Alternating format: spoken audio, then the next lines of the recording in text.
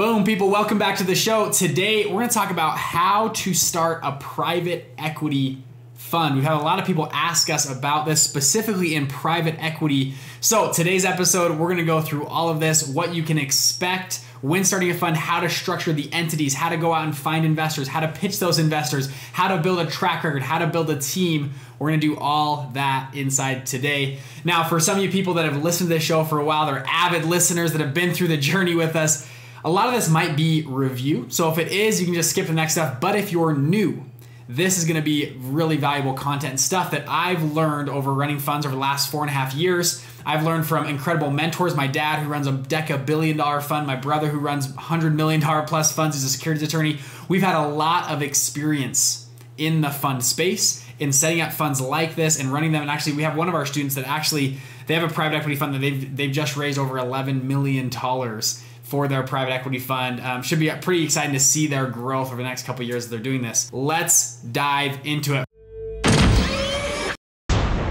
First question, Bridger, what even is private equity?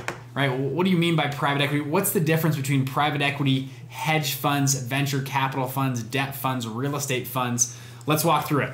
So right here, you have your public public market, public growth cycle. This is your private growth cycle over here. On the left over here, you have early stage companies. So these are these are way early. This is idea stage to, you know, very early implementation you these companies hopefully do well. They come up they mature and then they're distressed. If they're mature enough and do really well sometimes they can go public. They can have an ipo event here. They go public and now they're in the public markets. So where does private equity play? Well it's in the name. Private equity deals with privately held companies. Private equity will work in the private sector and typically they're going to come in right around here. As a company comes through idea stage you have venture capital you have early stage venture capital here, a lot of times like a series A, B, C coming in here. And then they will get to a point they can either sell to us, a private equity firm, or sometimes those VC companies will take them public, or with a private equity company together will take them. But that's a some some cases that's the exit for this. Now, that's typically what they people think of private equity. You see huge funds like KKR, uh, you see Blackstone. Uh, you I'll just do BS Blackstone. Good acronym right there for Blackstone. BS managing hundreds of billions of dollars, doing this at a massive scale. However, private equity can work in a lot of different ways. I have seen a number of private equity companies that come in and they are not looking at high tech. A lot of this is kind of the tech you know silicon valley style right? You get your your seed round series a b whatever and then you go ipo and you become billionaires. There's a lot more that goes on in the world than just that. And so i've seen a number of private equity companies that come and they will find companies that have grown and maybe are distressed. They're down here in this spot.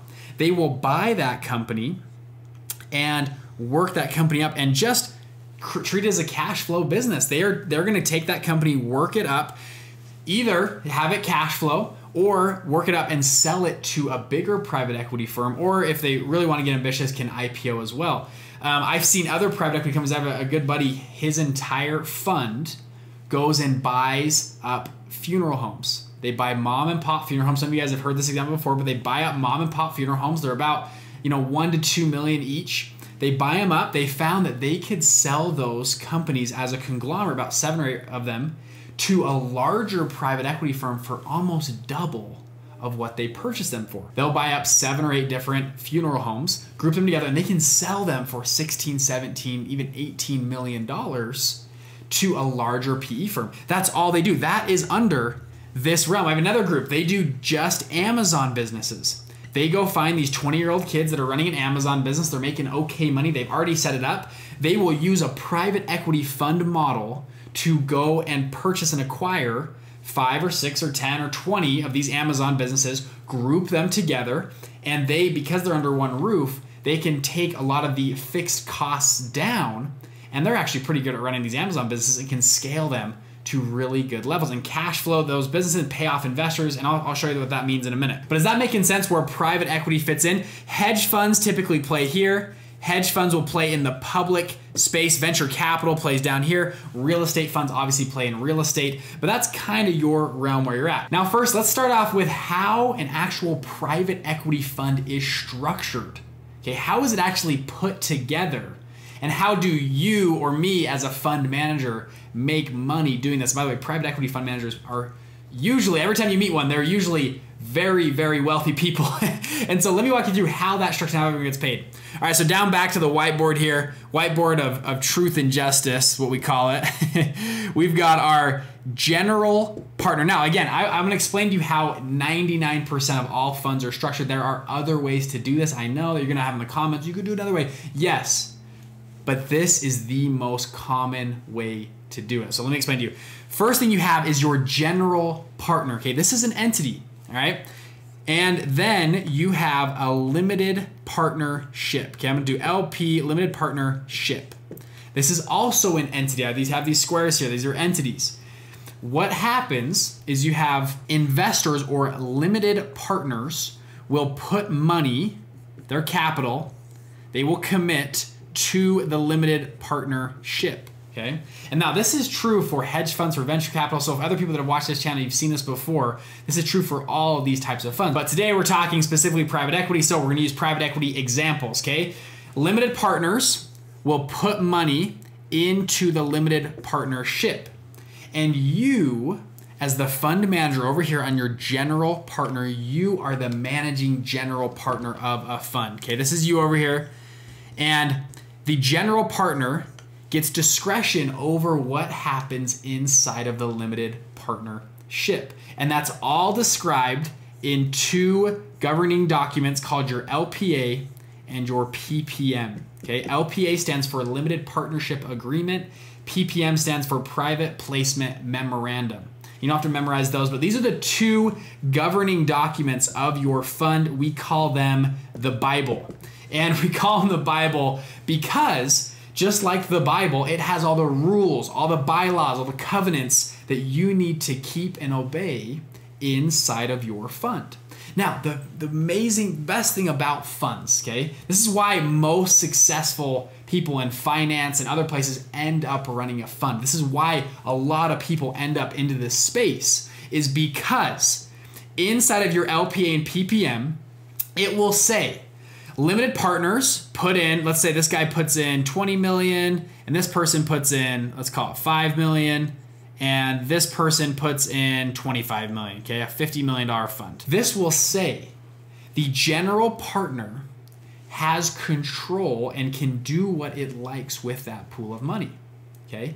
And you these guys are, are truly limited partners. You, as the fund manager, are the general partner. So you can decide down here, you can go, hey, we're going to go buy up uh, company A, and we're going to buy company B, and we're going to merge with company C, or whatever it is. And you have say over it. One of your biggest limited partners, this guy right here, $25 million partner, could call you up.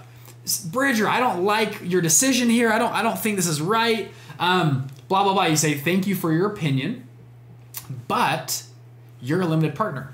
I, I really value your opinion. I thank you so much, but we, with our, you have hired us to make decisions on behalf of you. Now, if we did something illegal, if we broke our LPA or PPM, that's a different story, right? Maybe we have some legal stuff there. But if we've done everything right, they have no say over what happens inside of your fund. You have 100% control over that money. That's the reason eight guys on Wall Street, eight guys and gals on Wall Street can manage, you know, let's call it $10 billion. And they have 100% control over that money, even if their investors are yelling and mad and whatever. You saw that in the big short, right? You saw Michael Burry, all of his investors were yelling at him, sell, you got to get out of your short position. He said, no. He said, I'm staying in my short position. I believe in what we're doing and I'm going to stay. Right? That's the same thing that happens in the fund. It's a beautiful thing that, and that's why most people most successful people in finance end up in the fund space. All right, you with me so far? Is this making sense? Okay, you got your general partner, your limited partnership, and your limited partners. Now, there's another entity you'll set up called your investment advisor or registered investment advisor. Okay, Investment advisor is if you're under 100 million, 150 million dollars. Registered investment advisor is if you're over 150 million dollars. This is another entity. You'll, it's usually the same owners, so you'll own part of that and part of the general partner. Both are managing entities of the limited partnership, and I'll explain why they're separate in just a minute. Um, this is where you file with the SEC and uh, you are an invest you give investment advice to the limited partnership and they pay you a fee a management fee uh, for doing so. Let's talk about that actually right now. Okay i hope you guys are with me. We're moving fast here. If you want you can go rewatch this or go wind back. I'm not going to keep going over stuff so you guys can watch it again. So now let's run through how private equity managers make so much money. How does it actually work? How is everyone paid when the assets or business make money? So i'm going to draw a timeline here from zero to let's call it uh, 25%, okay? Uh, zero right here. Let's put like, we'll put 10 here. We'll put like 15 here, okay? And we'll call this just return, okay? Yeah, you can, we can use IRR or, or yield, APY. There's a lot of metrics we can use. I'm just gonna make it simple and just call this a return, okay? Um, so we got a 10% return, a 15% return, a 25% return, or a 0% return. That's what we're looking at on this timeline. And for this example, let's say your fund got a 22% return this year. You guys did pretty good. You got a nice return, and you now need to decide how that's all going to be split up to investors. Now, a lot of people right now, but Bridger, it's just a it's a two and twenty fund, blah blah blah. It's it's a little more complex than that, and let me walk you through what's inside of actually a two and twenty model. A lot of funds up front we'll do something called a pref. Now in my fund, this is what we do. We have an 8% pref. It's a preferential rate of return, meaning the first 8% of all returns goes to my limited partners. It goes right to my investors. So for example, if this year we only got a 7% return, we were right here, my investors would take all 7% because they get what's called a pref, a preferential rate of return, for risking their money in the fund. After the pref in my fund, we do a 2% catch up, is what it's called. So the next 2% of all dollars come to the general partner, okay? If we hit that certain benchmark. So, for example, if this year we only hit 9%, the first 8% would still go to the limit partners, and the next 1% would just come to me as the general partner. Is that kind of making sense? Now, in my fund, once we get above a 10% return, we start splitting 80 20. 80% to the limited partners, 20% to the general partner. Now, in my fund, I added one more thing, one more tier of this waterfall. So we do an 80 20 split until a 20% IRR. Once we hit that return, 20% return, we then split 50 50. So it incentivizes me as the fund manager to get even higher returns. If I get over a 20% yield or return to our fund, I then start taking 50% instead of just the 20%. And the idea there was to align our incentives with our investors. So back to our example, if we had a 22% return, first 8% would go to the limited partners, next 2% would come here. From 10 to 20, we would split 80 20, so that would be another 8 up here, another 2 down here, and then a, from 20 to 22, we would split 50 50 and that would be one up there and one down here. So at the end of the day, in this example, my investors would take home a 17% cash on cash return they would take home, and I, as the fund manager, would make 5%. Is that kind of making sense? You guys following me so far? Now, you might be saying, well, Bridger, I'm not in this whole game to make 5%. Like, that's so small. No, yes, you are. Okay, you're not making 5% on your money. Okay, you are making 5% on the entire fund. So if you look at Stephen Schwarzman and these other big fund managers that manage, let's call it $100 billion, who would like to make 5% on $100 billion, right? I would, right? That, that sounds great, right? It, this is the ultimate leveraging other people's money OPM model out there. Is that kind of making sense? That's why fund managers make so much money. Now, before I go any further, you might be asking, well, Bridger, what about management fees? And I didn't forget, I wanted to save that for the very end. A lot of funds as well will also down here charge usually about a 2% management fee. And they take that right off the top, before they go out and make you know all this this waterfall sequence. This is called a waterfall. What I'm explaining here. The management fee typically will go to your investment advisor or registered investment advisor. Remember what I talked about earlier, that other entity? So that will take the management fee just for giving financial advice. And the other stuff here, which is called carried interest, that's a keyword, carried interest, goes to the typically the general partner will take this. Now, you as the fund manager participate in both. So with a management fee, that takes up this to probably about maybe six and a half percent after you adjust for everything. Now, the reason I left this off at the beginning, my funds currently, I do not charge a management fee. And I did that because one of my mentors advised me, he said, Bridger, when you're just starting out, you're starting your first fund, people are skeptical. People don't believe that you're gonna go out and do what you do. So, to catch attention, one strategy is you don't charge a management fee. Then, when I was starting my first fund, I went out to investors and I said, Hey, I don't make any money. I make zero dollars unless you make 8% first. There's no management fee, there's no hidden fees. I literally will not make a single dollar until you make back at least 8% first. And that was a compelling pitch for investors, and they saw the confidence that I had for this fund, and they decided to put money into what I was doing. All right, is this making sense so far? Now you're probably sitting there like, Bridger, hold on. Okay, I, I, get it. That's kind of the structure. I understand the structure, but how do I actually start? The name of the video is how to start a fund. And I, what's been interesting is over the last couple years, you know, I've ran my funds and I've started to interview other people on this channel and show that have all actually gone out and started their own funds. And I, I try to only interview people that did it unconventionally, were regular people like me and you don't they don't have the Ivy League degree, they don't have the big Wall Street experience. They're just regular people that decided to use this incredible business model to go out and scale their business.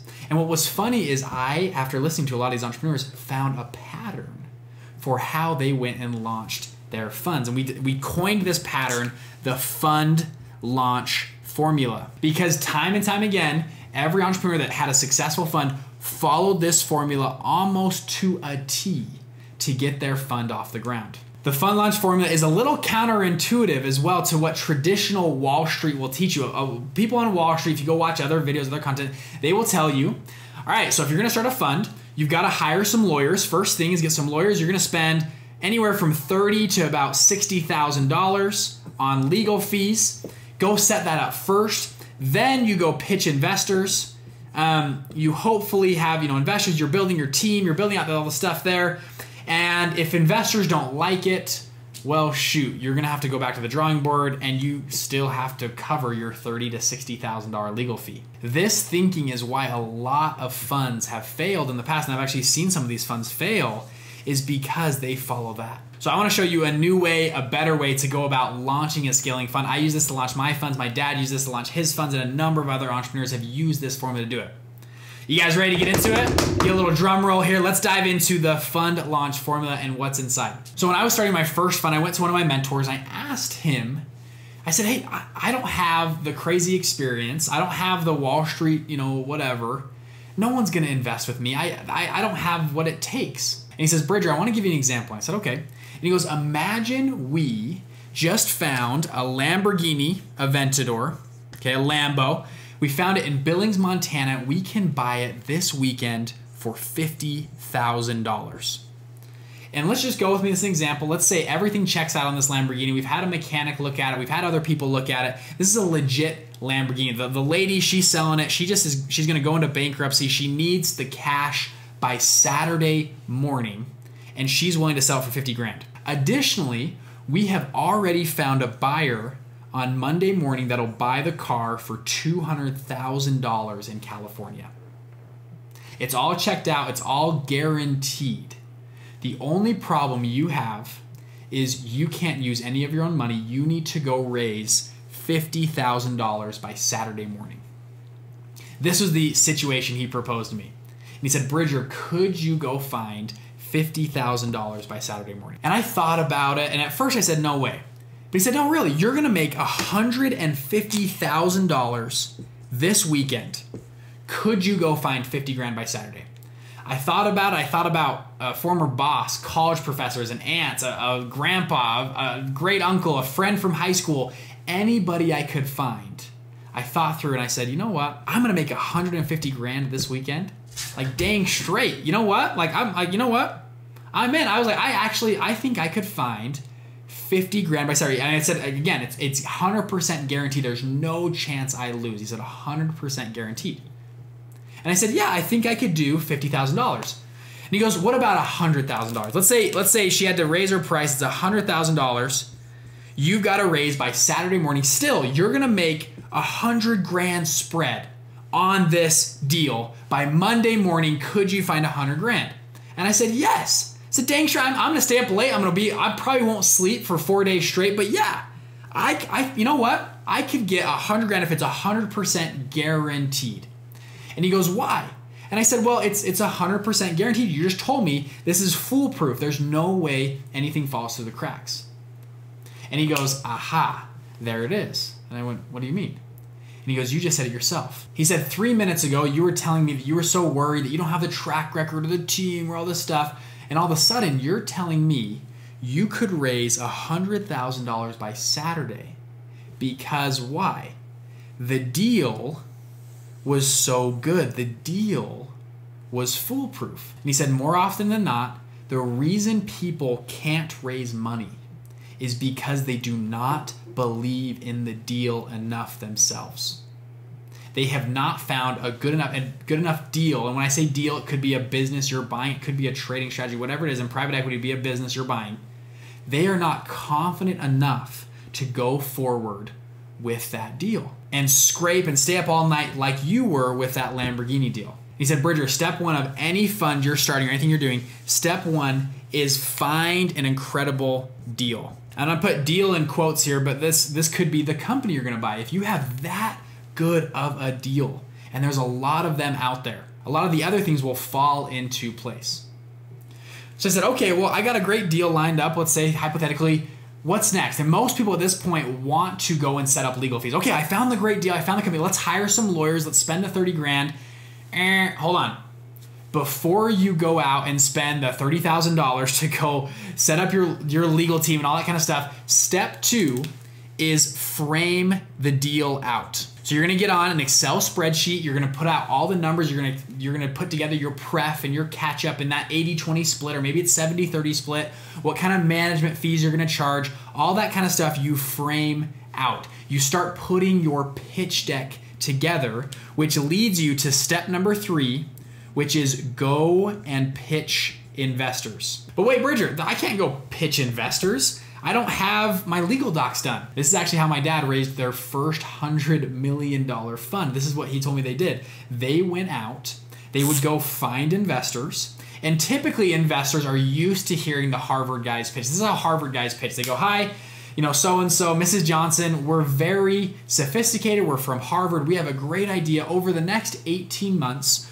over the next 18 months, we're going to go out and we're going to find great businesses and bring them together. And we theorize that we can go do all this. And Mrs. Johnson says, Great, thank you so much. Have a nice day. My dad would walk into that same room, say, Hi, Mrs. Johnson, we're not from Harvard. However, we have just found an incredible deal. Here's our entire pitch deck. We need to close on this business or this real estate deal, whatever it is, by the end of the month. Now you're smart, you've seen things before, you've worked in business, you obviously have a successful career, you wouldn't be where you're at. Do you want to get in or out? You can poke holes yourself in the deal, we're closing on this deal by the end of the month. And Mrs. Johnson would sit down and look at the deal and say, hey, bring on a friend or whatever consultant you need to. We believe this deal is bulletproof. And she'd sit there and look through all the stuff and all the documents and all the all the stuff you've framed out. And they would say, Hi, Mrs. Johnson, we haven't done our legal docs yet. It's going to be done in a couple weeks but if everything checks out, can we put you down for $500,000 as a soft commitment that you'll go towards this deal? And she'd say one of two things either, yes, yeah, put me down for a soft commitment for $500,000, or number two, well, I don't know if I'm ready to invest yet. And if they got the second option, they'd say, well, why not? What's holding you back from doing this deal?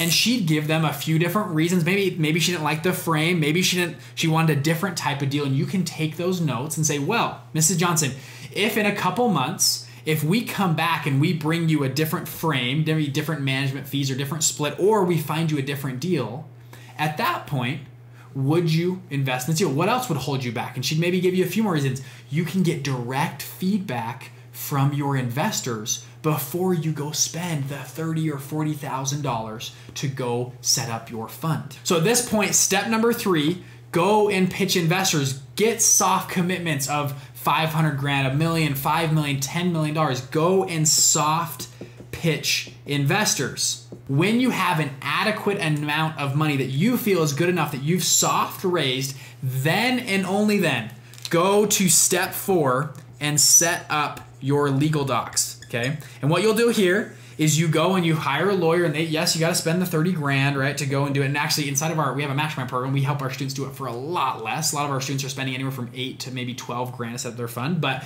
typically off the street you're anywhere from 30 to 60 grand if you're not in our programs. But that's what you do. You go set up your legal docs then you go back to your investors and you say hey time to put money in. And the 30 grand you just spent is a reimbursable expense to the fund. It's a it's a startup cost and so you put the money down. What you just did is you investors paid you to build a fund for them. They paid you to go out and structure and put together a fund that will benefit them. Boom, baby. That is the fund launch formula in, in about five minutes, me putting this together. Again, step number one, find that incredible deal. Okay. Two, frame it out. Three, pitch investors. Four, legal docs. Now, questions at this point is Bridger, well, wait. Okay, the, the step one, how do I find that incredible deal? There's an, a lot of great sites out there bizbuysell.com, Empire Flippers that are actually brokerage services for businesses, even small scale businesses that are being listed to sell. It's a great way to get your feet wet. However, if you're like me at this point, you say, well, Bridger, okay, I get the idea, I get the frame, I understand the general partner, limited partnership, I understand the, the split, but I just don't know if I have the network to raise money, or if I don't, I don't know if I have the expertise to go out and find and buy private equity businesses. That's okay. No one does this game by themselves. There's three distinct circles or positions inside of a fund. Over here, you have your money raiser. Okay, this person is a natural salesman, already has an incredible network, has spent spent the last 10 years building out an incredible network of investors. The middle circle, you have your fund manager. This person is very good at operations, audit, legal, accounting, SEC compliance, all funds uh, goes under this circle. And then finally, you have your expert investor. This is your chief investment officer. This person has done real estate or bought businesses for 25 plus years. However, they have no clue how to run a fund and they have probably no clue how to raise money. Currently in my fund, right now we've we've soft raised on that fund left from about $18 million. We're gonna be setting up in the next few weeks. Myself, I'm very good at fund managing this middle circle. And I brought on another partner that's very good at he's an expert investor and we're doing real estate deals. I don't know the first thing about real estate deals that's okay because I'm pretty good at running a fund and I'm actually pretty good at raising money. And so I can compensate where he is not good as on, on that side of things. Again, no no one does this alone. It's not the how. Stop asking yourself, how do I go and find these deals? Change your question to who. Who can I find that can raise me the money? Or who can I find that can go be my expert investor partner to go help me do this? Or who can I find that can help me run the fund? And that's what we do inside of, we have actually a lot of content stuff online. We're trying to build an online community of people that we can connect these dots. One guy in our group, they actually met inside of our program, our group. He's, he was an expert investor. The other guy was a money raiser. They came together. They've raised, I, I believe, already over $5 million for their fund they're going out and doing right now. So again, no one does this alone. So there you have it. That was a crash course on how to start up private equity funds. Uh, if you're interested, we have a lot of other videos that go in, in more depth than this video. We have a one hour free training if you want to click below. We have a Facebook group. We have a bunch of other stuff online, online programs and stuff. Shoot me a DM or message if you want, want more of that, but go check out other stuff on our channel and subscribe. All this stuff. We have a podcast. Everything else is out there to help more and more people understand what's happening behind the curtain on these private equity and, and hedge fund space. Hope you guys enjoy, and I'll see you next episode. Bye.